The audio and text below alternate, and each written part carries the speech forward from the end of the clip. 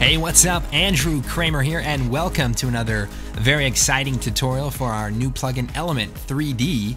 And we're going to be taking a look at animating inside of Element. So there's a lot of cool ways to animate from the basics up to the advanced animation engine.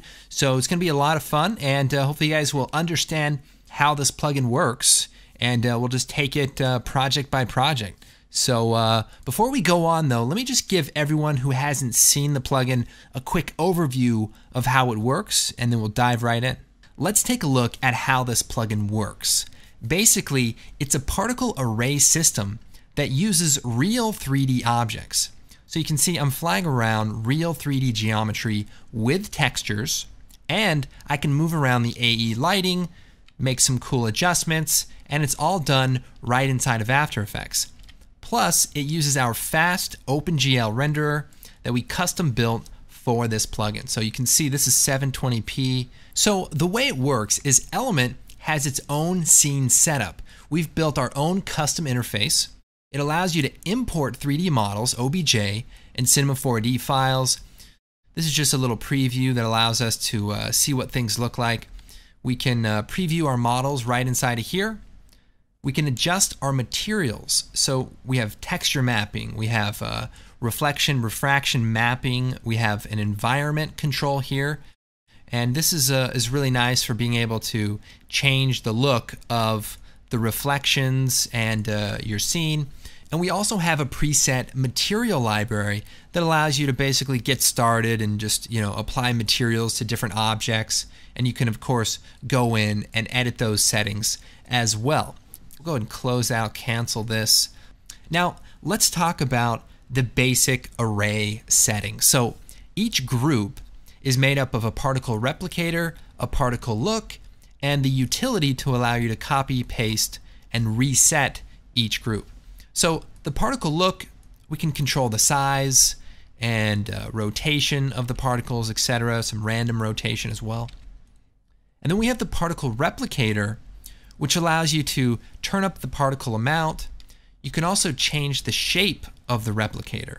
So in this case, we're just using a sphere. There's also some primitive shapes like this ring. Not to mention, you can use an actual 3D object as the array. So um, I can help maybe visualize that. If I were to go to the output here, change the polygon mode to point cloud, we can actually see what each vertex looks like. And so what would happen is particles would be emitted at each point. So kind of a cool thing. And this mode can actually be rendered. So you could do some really cool stuff with this point cloud mode. And while we're here, we can actually change this to wireframe mode. So you could do some really cool looking stuff. Um, you know, it's got the fog, so it's uh, it's very interesting. Um, you can set it to be a flat color, so if you don't want the wireframe to be shaded like this. You could do some really cool stuff, but this is already a very interesting look that you could build upon. Um, so let's switch that back to normal. It's getting a little crazy. Let's switch this back to a sphere and let's talk a little bit more about animating a group. Now keep in mind, all of these properties are animatable. So I can take the scale and, you know, maybe turn it down to zero and, you know, do some kind of animation where everything grows out. We can even go to the particle look. Let's keyframe the rotation random. So if I set a keyframe, go to the beginning here, maybe turn that off and set the orientation to fixed, what's going to happen is they're going to sort of explode out of a single object. So something cool about that. There's also some random options like surface offset and scatter that allows you just to do some interesting things with the particles when you have a lot of them. So that's the basics of animating each of the groups. All right, so let's move on to some more advanced animation capabilities. All right, let's take a look at animating some moving parts like this. So we have a gun that's shooting and then we have the shell casing popping out. And uh, how can we animate something like this? Well, let me show you. So I want you to pay attention, okay? Listen, hey, hey, pay attention. Pay attention. Uh, no. Um, here we are looking at this gun model, and let's take a look at animating the gun. So I'm going to jump inside the scene setup, and I've got the gun already in my scene. So here it is over here, 45 millimeter handgun. And by the way, it's part of the projectile weapons pack that's uh, going to be available. Now, the cool thing about this model is that the inside of the pieces are actually created, meaning if I shut off some of these materials, we can actually see the inside of the gun, and enough of the parts are here that will allow us to animate. So we'll shut this back on. Now, what are these four materials? Well, basically, these are the materials that have been assigned inside of a 3D program. So we've taken each of the different parts, like the trigger and the slide, and we've separated them by material. An element automatically recognizes them. So what's nice about that is it allows us to separate parts of a model so that we can animate them individually. So here's what I'm going to do.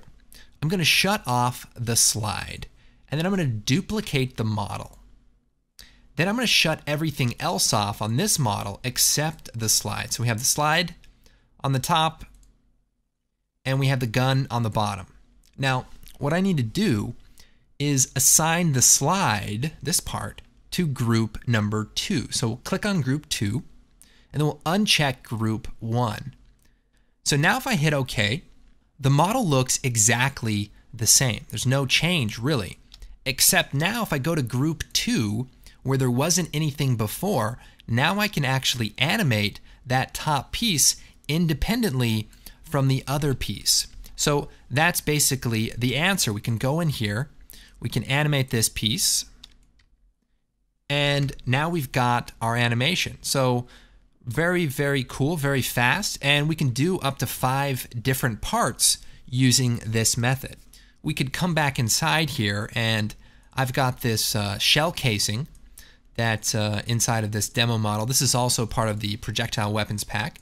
And I can say put this on channel 3, hit OK, now, it's a separate model, so it's going to come in at the normalized size. So all objects get normalized to about the same size. And then we can just go to the particle look, size it down, and uh, move it around, animate it. We could connect it to a null object and basically just have it shooting out.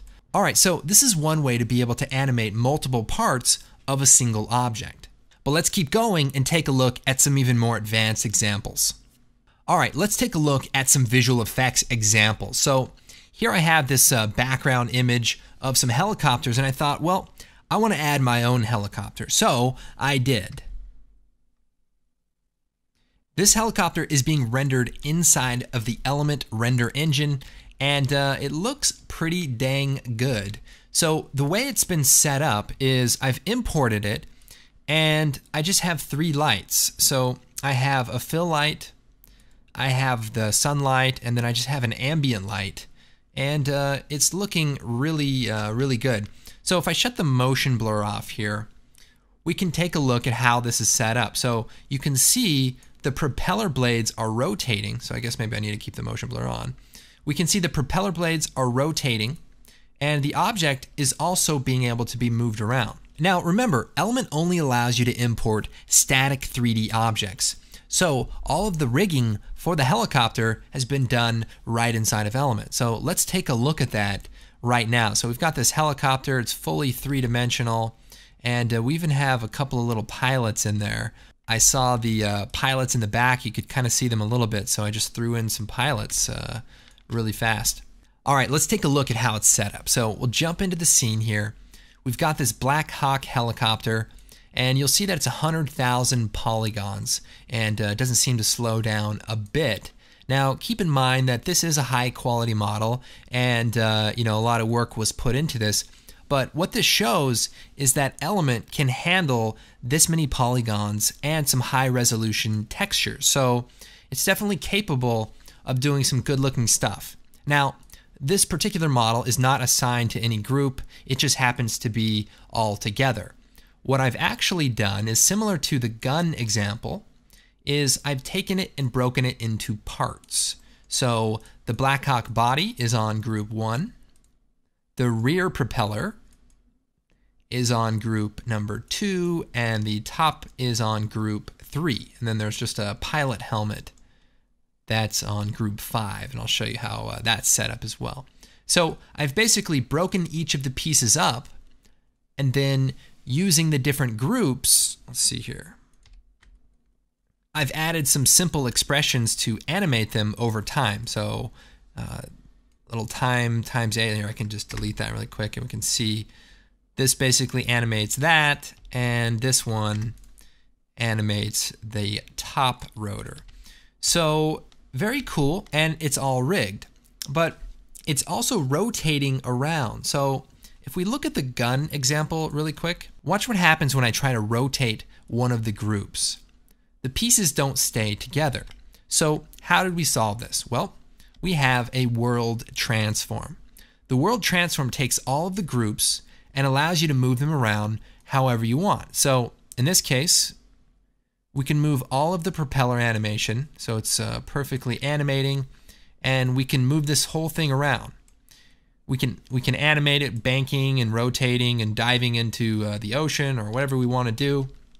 It's fast and uh, you know it's it's a really simple system. Now, what's really cool about it is that let's say on one of the groups we put a building that we wanted it to crash into. Well, we can do an exclude group. So we could say exclude group 5 that might have a building and that way only the parts of the helicopter will actually move together. So really handy feature. We hope you guys like that one. Um, lastly, let's just take a look at the uh, the pilots here. So they're on group five here. So what I did is I just set the replicator to a 3D grid and it's set to two people. So we could set set it to three people and now we've got three people in the cabin. Maybe we set it up to like six people. We've got six pilots in there or one pilot and five co-pilots. Sounds like a plan. All right, we've got a little bit of time, so let's take a look at this watch example and uh, just disregard that horrible uh, joke. Um, this is a cool looking model, and this was rendered inside of Element.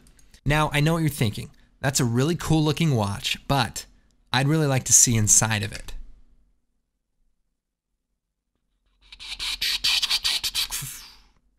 All right, so this was created in Element.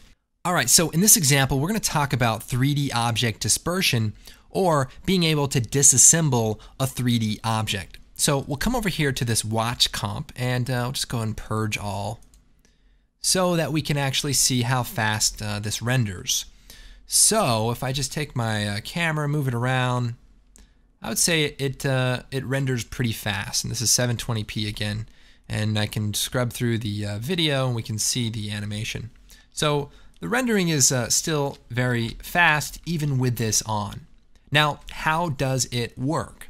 Basically, if you have a 3D object that's made up of multiple pieces, like these gears, Element will automatically create particles out of those pieces and allow you to distribute them in 3D space. So let's take a look at how that's set up. So we'll jump inside of Element.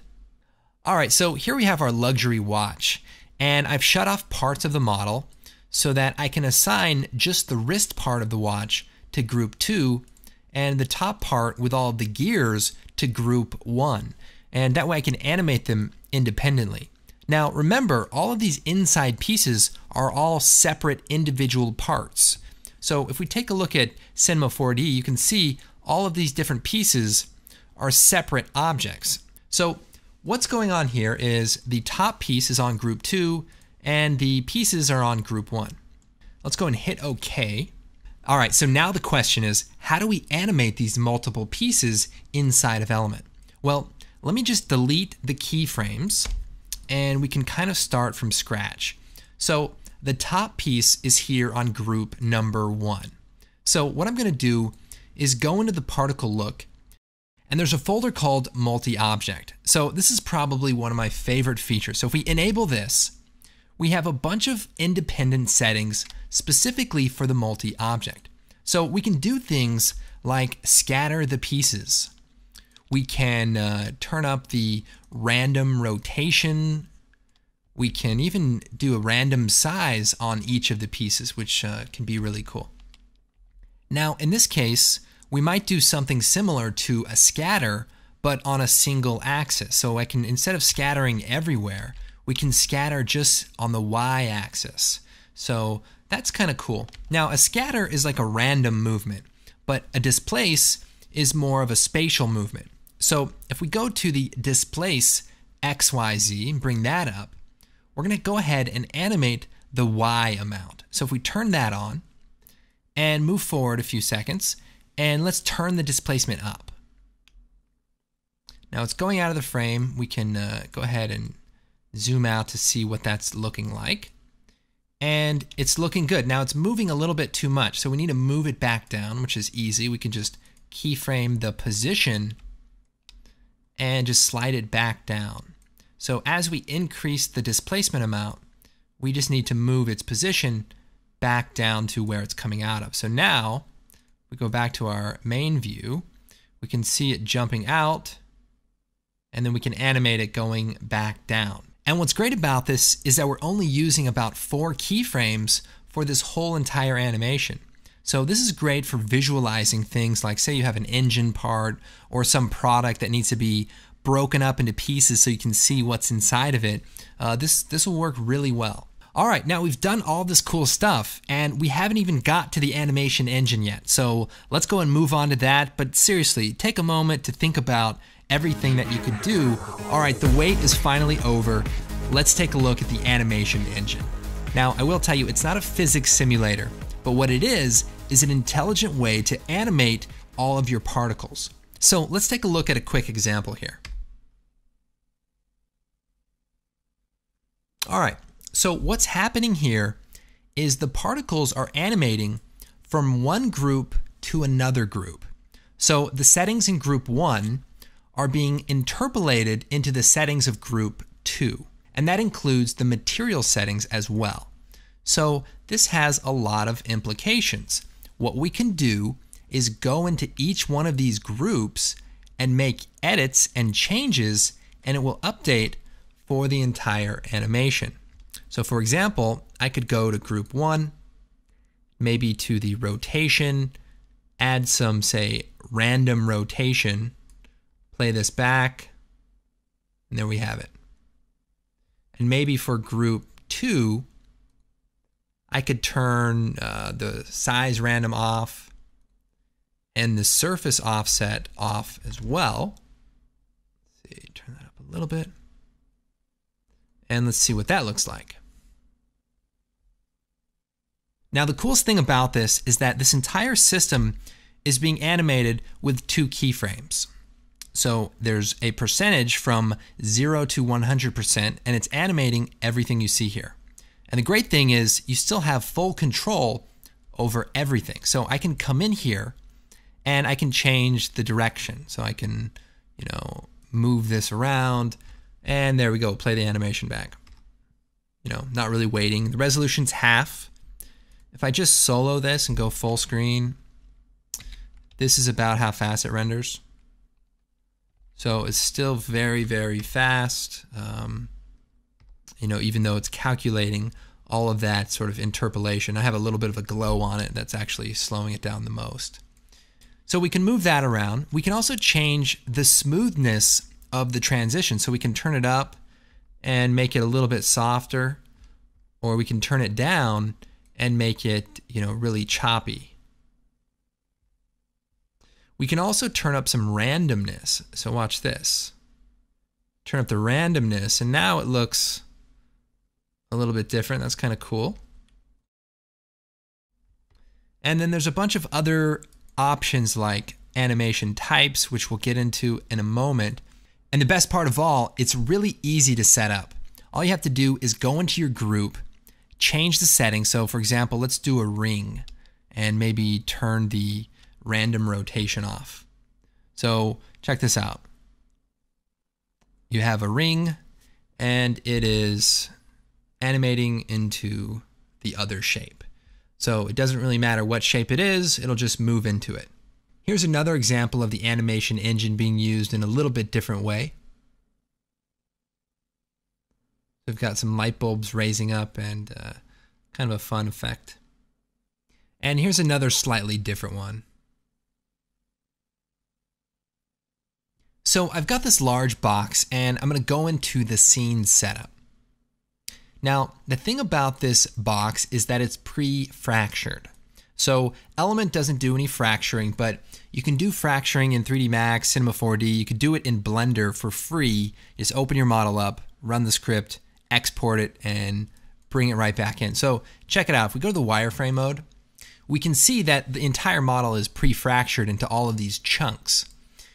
Now, usually you want your objects to be on one group, but in this case, I'm going to put it on group 1 and group 2 because I want to use the animation engine, so I'm going to hit OK. So if I jump into group 2 here and move the position around, we can see that we have two of the exact same objects on top of each other. Well, the way the animation engine works is that once it's enabled, it automatically hides one of the groups. So if we turn the animation amount on, move forward a few seconds, and turn it up to 100%, it's now interpolating between group 1 and group 2. So let's go up to group 2 and see what kind of effect we can make. Get ready for this. Turn on the multi-object. So now I have control over all of the individual pieces and what I can do is scatter them around. So you can see starting to look like it's cracking across the surface. So right there, we've got some really cool possibilities. And we can come down now to the animation engine, play with the settings. So we can turn the smoothness down, and now we have a nice tight fracturing. We can uh, maybe come up here and displace some of the uh, pieces a bit. You know, create a really nice uh, looking bit of destruction. We can even, let's say, watch this, we'll scatter it, rotate it, and let's move the position of the group, say, down. And so what we're going to see now is the pieces, um, if we smooth out the, uh, we're going to see the pieces sort of falling down out of the uh, out of the frame, and we can even move that position down really far and almost cheat some type of uh, you know gravity, some sort of wall that's crashing down or something like that. So we can see the pieces sort of breaking apart, which is uh, which is really cool. But we can do something else. So let's turn the scatter amount down. And let's come down to the animation engine. And instead of doing a directional animation, so this is, you know, this is what's happening here is the pieces are falling in sort of a directional pattern. But let's change it from directional to radial. And look what happens. Let me come up here. We've got ourselves almost like a destroying ground. And remember, this isn't physics. This is simply interpolation, but with a little bit of work and some clever uh, animating, you could do some cool things like dragging this down to kind of fake a bit of gravity, even turning up the uh, rotation random so that the ground really starts to crumble. Um, you know, could look really, uh, really cool. All right, so here's what that might look like with some motion blur. We can even change the radial direction to be inward. And so now the sides will start falling off first. Um, all right, let's take a look at this example using another pre-fractured object. So in this case, we're using a pre-fractured sphere. Now I can show you what that looks like uh, through the wireframe here. Basically just a bunch of uh, pieces in here and it's like higher density down here. Um, now it's animating between the dark ball and the green ball. So what we can do is go to group two and start playing around with the settings. So multi-object, we could turn the displacement amount up and make those pieces really break off a little bit more dramatically. We could even turn the size of the multi-object pieces down to zero and it almost looks like the pieces are chipping away. Now I'm noticing a problem. I'm not seeing that bright green anymore, and I really like that. So how can I make my material blend a little bit sooner? Well, what we can do is go to the animation engine. Now there's not enough time to really get into this, but we have this time delay. And what we can do is take the material duration and change it from 100% to something like 40%. What that will do is make it so the material is done blending at 40% instead of 100%. So that way it happens faster. So we can move it over and now look at this animation. Pieces breaking off. We can even slow this animation down. And again, this is all being animated with two keyframes. Maybe turn the uh, motion blur on here. What I'm going to do is I want to turn up that displacement. I want to make these uh, pieces really go flying.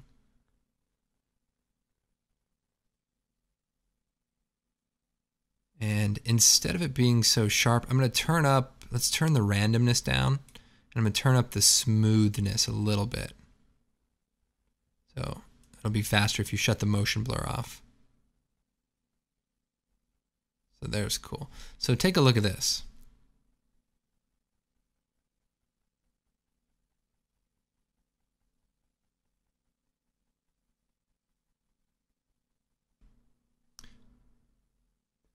All right. Well, this is pretty amazing. I'm not sure, you know, there's much else to say after uh, after looking at this. You know, there's just so many possibilities. You know, we've got this last example where we can see pieces getting sort of sucked into the middle. And what's cool about this is I'm using the radial mode. So it's pulling the pieces in from the inside, which is uh, which is really fascinating. Anyways, this is how the Element animation system works, and uh, I hope you guys like it. All right, well, we're going to be posting some more in-depth tutorials to the Element help section, so those will be available online to um, everyone. And also, we got a little bit of new information on some bundles. So we've got the Element plugin, we've got the Pro shaders, which are the 200 pre-made materials, and then we've also got the Motion Design Pack, which has a bunch of objects and abstract stuff ready for you to use, including a bunch of pre fractured objects like glass and things that you can use with the multi object system. We've got the Pro bundle uh, with the Pro shaders, and then the 3D Design bundle, which includes all three of those. So that's great for motion graphics and things. Now, we just announced our new 3D model packs, and they include anywhere from 40 to 60 models per pack. And if you're looking to get the complete bundle, we have a great discount on that.